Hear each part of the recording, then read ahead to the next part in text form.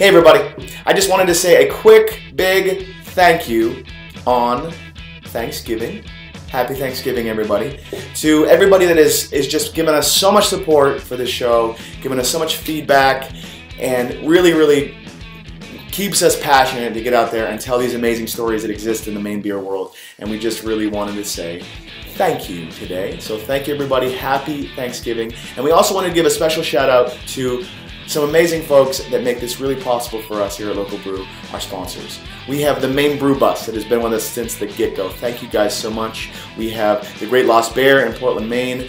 Amazing place in Portland. Thank you guys. In Park City, Utah, Wolfgang, Man and Beast, some awesome dog products and, and apparel. Check those guys out on the web. They're awesome, cool people. We have Carter's Cross Country Ski and Touring Center in Bethel and Oxford, Maine. Skinny skiing is your thing. Go do it, guys. Norway, Maine brings us Cafe Nomad, Main Street, Norway. Check those guys out. Great food.